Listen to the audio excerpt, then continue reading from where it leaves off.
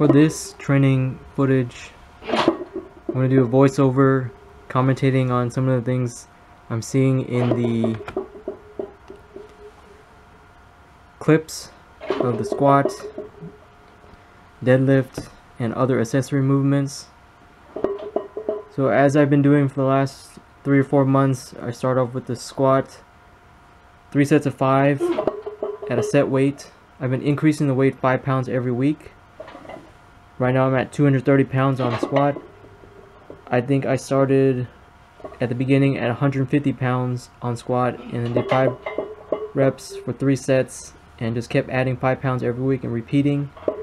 I try to do two sessions like this, exactly like this. So squat, three sets of five, and then I split it up one on Sunday and then another one another set of um, 3 by 5 on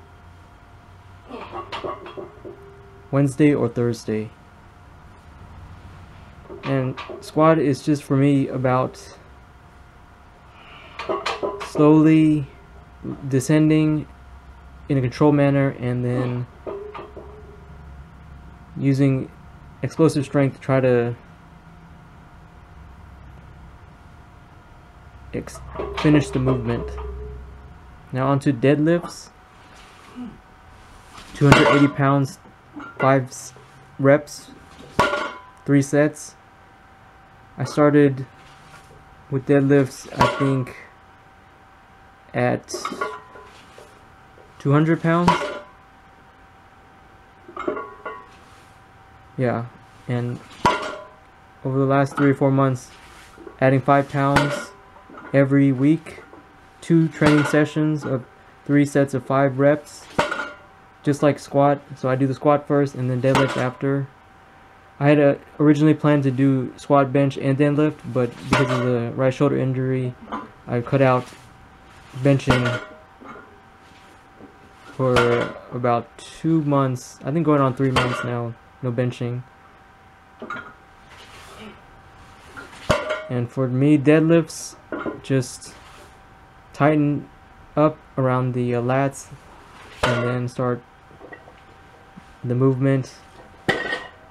There I, I misgrooved and uh, had to reset. For deficit deadlifts, I used the conventional stance and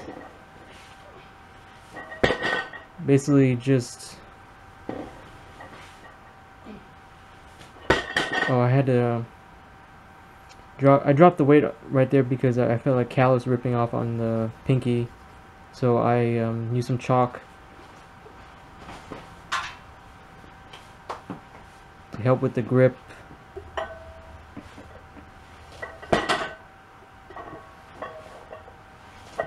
This is my primary accessory movement after squat and deadlift, sumo deadlift.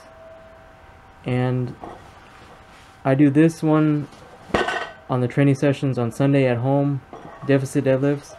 And if I'm at the commercial gym on Wednesday or Thursday, I do stiff leg deadlifts as the primary, the first accessory movement after squats and sumo deadlifts. I think with the combination of these type of deadlifts I get enough variation hoping that each of the deadlifts will kind of symbiotically or simultaneously improve one another. Now onto the upper body accessory movements starting with dumbbell shoulder press. I'm only doing the left side right now until I feel like the right shoulder is in good enough shape to do sort of do any sort of pressing on the right side until it's ready. So just 30 pounds on the dumbbell shoulder presses. Now doing chin-ups. I'm trying to do more uh, pull-ups or chin-ups or any sort of variation of that. I set up a portable one indoors and just whenever I get a chance just do a few pull-ups here and there try to accumulate pull-up volume over the week trying to get like 25 to 30 reps total for a week it's just uh, good for the back development and uh, for the lats.